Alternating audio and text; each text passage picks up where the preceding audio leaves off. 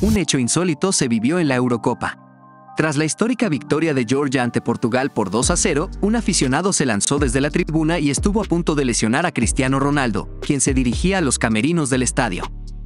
El irresponsable hincha saltó de manera brusca las gradas para estar cerca de su ídolo. Sin embargo, la forma desmedida en cómo quiso ir a abordar a Cristiano pudo terminar en algo mucho más grave, si no fuera por la reacción que tuvo el cuerpo de seguridad al impedir que el delantero portugués sea aplastado por el aficionado.